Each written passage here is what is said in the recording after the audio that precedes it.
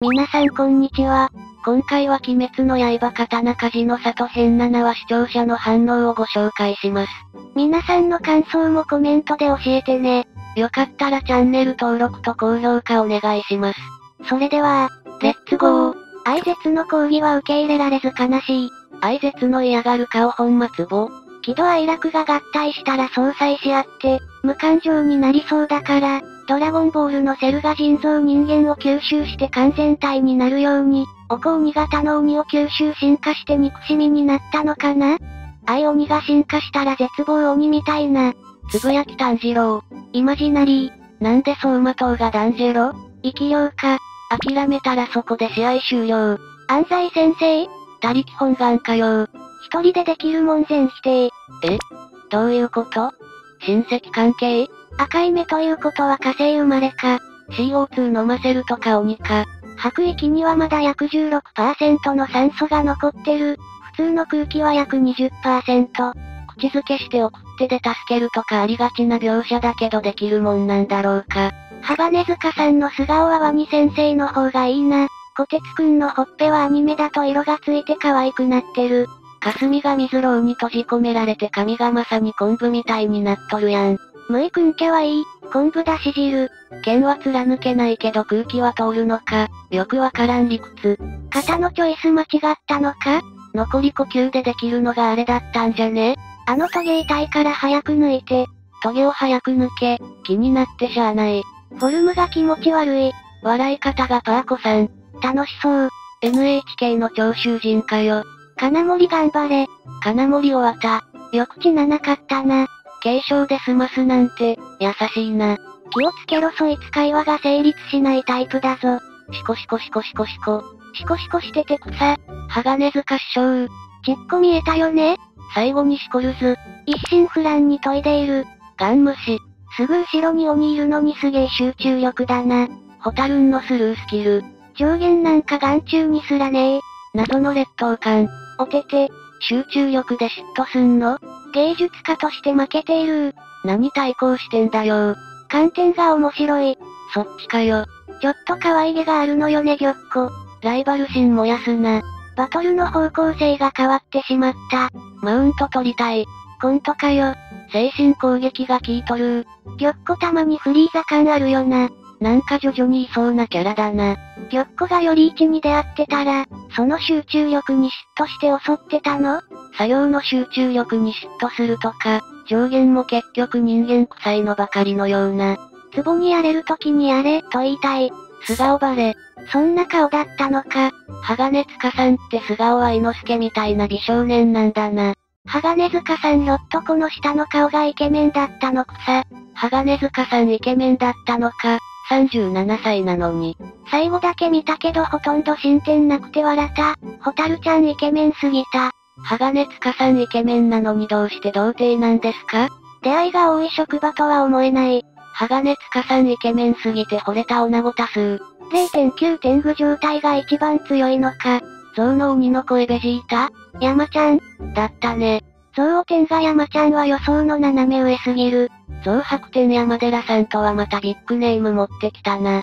山ちゃんのあんな演技初めて聞いたわ。堀川亮かと思った。全然山ちゃんだとわからなかったわ。すげえ。山寺宏一の声バリエーションはさすがとしか言いようがないな。声だけで威圧と恐怖与えるって演技はさすが。別れた鬼たちは、反天狗の分身なんだろうけど、完全に意思の疎通が取れてるわけでもないんだよな。どの鬼が一番反天狗に近いのかな？絶対堀川さんだと思ったら山ちゃんだったとは、こういう声も出るとか驚いたわ。当てるなら他キャラだと予想してた。配信で見直したけど山ちゃんって分かってても、山ちゃんに聞こえない。なんだこれすごい。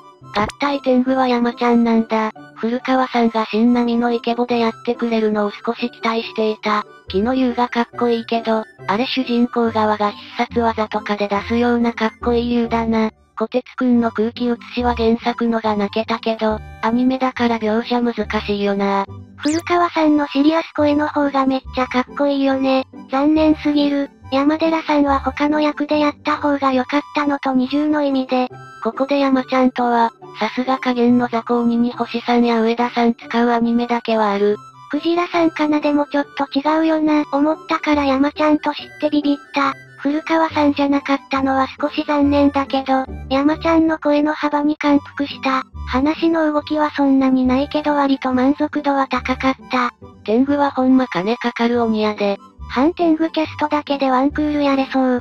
新キャラの声優当てが楽しみの一つになってる。聞いてすぐわかる時とそうでない時とばらけるから楽しいわ。というか有名声優多すぎでほぼ毎回ビビる。ゲストキャラのびっくりキャスト続いてるからね。1期の頃は放送前に PV 作って先に公表してたと思ったけど、今はぶっつけ本番で発表なんやな。山寺さんなら、20役くらいできるから、色々やってほしい。堀川さんじゃなかったのか、山ちゃんなんでも演じれるな。古川さんがあのただ怯えてるだけのキャラを演じたいだけで、オーディション受けたのがすごい。オーディションって役名だけだろうから、原作読んでたなら分裂も全部やる気満々で受けたのかもしれんぞ。まあ実際どういう説明でオーディション受けたのかはわからんが、喜怒哀楽が吸収合体するシーンは、漫画よりカット数増えてわかりやすくなってた気がする。増白点が生まれるシーンも、漫画だとあんまり記憶にないな。増白点が原作に増して迫力ある。気流の動きは息を飲む美しさと迫力だった。一番期待していた点だが恋柱との激戦ではさらに苛烈な動きが予想される。あの竜が出てきたとこは無限列車の触手みたいですごかったな。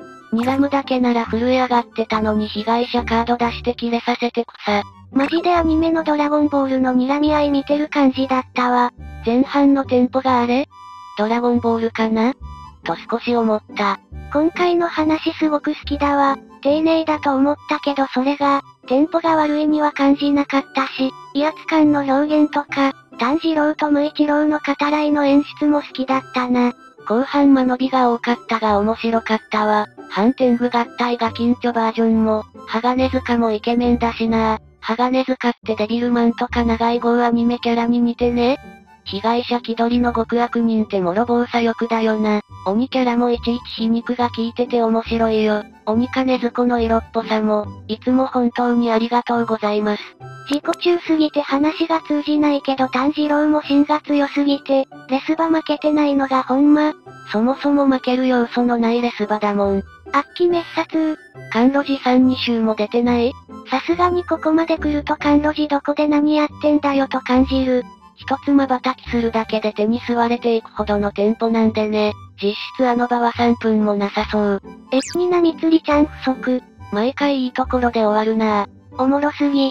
もう終わりか、1時間やってくれよ。ご視聴ありがとうございました。